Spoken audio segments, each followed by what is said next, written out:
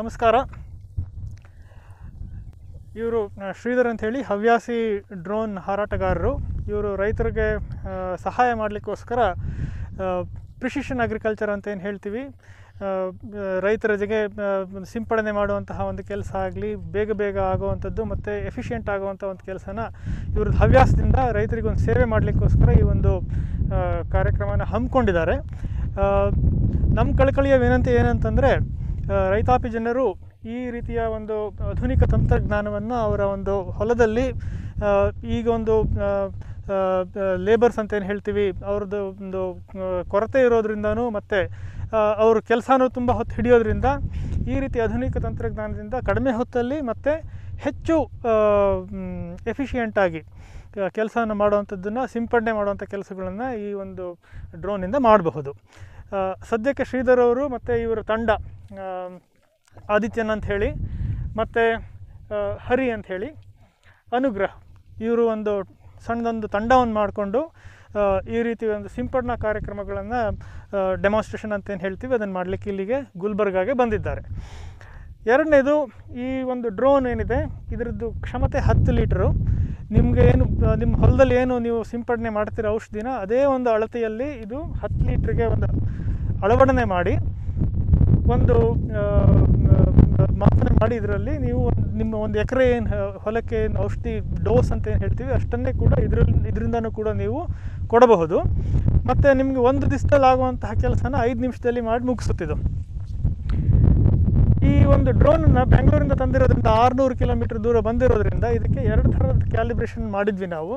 ಒಂದು compass compass ಅಂತಂದರೆ ದಿಕ್ಸೂಚಿ. ದಿಕ್ಸೂಚಿ ಹೇಗಿದೆ? ಇದು ಈ ಒಂದು ಡ್ರೋನ್ ಮೇಲಕ್ಕೆ ಹಾರಿದ ಮೇಲೆ ಇದಕ್ಕೆ ಕರೆಕ್ಟಾಗಿ ಒಂದು ಡೈರೆಕ್ಷನ್ ಕೊಡಲಿಕ್ಕೆ ಇವ್ರ ಹತ್ರ ಒಂದು ರಿಮೋಟ್ ಕಂಟ್ರೋಲರ್ ಅಂತ ಒಂದು ಉಪಕರಣ ಇದೆ. ಇದರಿಂದ ಇವರು ಡ್ರೋನ್ಗಳಿಗೆ ತಮ್ಮ ಕಮಾಂಡನ್ನು ಕೊಡ್ತಾ ಇರ್ತಾರೆ. ಎಡಕ್ಕೆ ಹೋಗೋದು, ಬಲಕ್ಕೆ ಹೋಗೋದು, ಮೇಲಕ್ಕೆ ಹೋಗೋದು, ಕೆಳಗೆ ಬನ್ನಿ, ಈ ಥರ ಸ್ಪ್ರೇ ಮಾಡಿ ಒಂದು ಕಮಾಂಡನ್ನು ಇದರಿಂದ ಕೊಡ್ತಾ ಇರ್ತಾರೆ.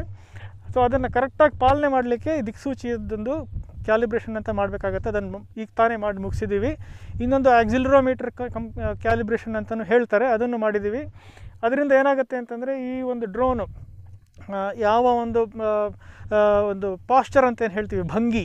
ಆ ಭಂಗಿ ಕರೆಕ್ಟಾಗಿರಬೇಕು ಹೀಗೆ ಸೊಟ್ಟದಲ್ಲಿ, ಸೊಟ್ಟವಾಗಿತ್ತು ಅಂತಂದರೆ ನಿಮಗೆ ಸ್ಪ್ರೇಯಿಂಗ್ ಕರೆಕ್ಟಾಗಿ ಆಗೋದಿಲ್ಲ.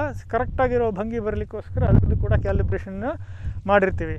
ಜೊತೆಗೆ ಈ ಒಂದು ಜಾಗದಲ್ಲಿ ಏನು ಕ್ಯಾಲಿಬ್ರೇಷನ್ ಮಾಡಿರೋದು ಕೂಡ ತುಂಬ ಮಹತ್ವಕರವಾಗಿರುವಂಥದ್ದು.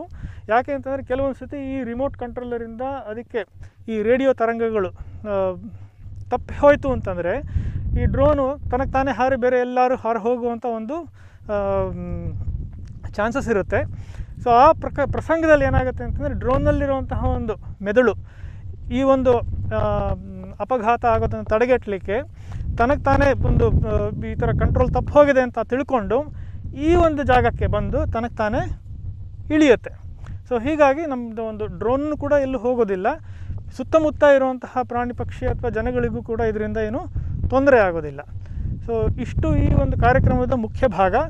ಈಗ ನಂತರ ಶ್ರೀಧರ್ ಅವರು ಈ ಡ್ರೋನನ್ನು ಹಾರಿಸಲಿದ್ದಾರೆ. ಈ ತೊಗರಿ ಬೆಳೆ ಏನು ಕಾಣಿಸ್ತಿದೆ ನಿಮಗೆ? ಇದರಲ್ಲಿ ಈಗ ಎಂ ಎಕ್ಟಿನ್ ಬೆಂಜೋಯ್ ಮತ್ತು ಬಯೋಮ್ಯಾಕ್ಸ್ ಅನ್ನೋ ಒಂದು ಎರಡು ಔಷಧಿನ ಮಿಶ್ರಣ ಮಾಡಿ ಈಗ ಟ್ಯಾಂಕಿಗೆ ತುಂಬಿಸ್ತಾರೆ. ತುಂಬಿಸಿ ನಿಮ್ಮ ಮುಂದೆನೇ ಇದನ್ನು ಹಾರಿಸ್ತಾರೆ. ನೀವೆಲ್ಲರೂ ನೋಡ್ಬೋದು ಪ್ರಾತ್ಯಕ್ಷಿಕೆನ. ಹೆಚ್ಚಿನ ಸಂಖ್ಯೆಯಲ್ಲಿ ನೀವು ಈ ಒಂದು ಕಾರ್ಯಕ್ರಮದಲ್ಲಿ ಭಾಗವಹಿಸಬೇಕಂತ ನನ್ನ ಕಳಕಳಿಯ ವಿನಂತಿ. ನಮಸ್ತೆ.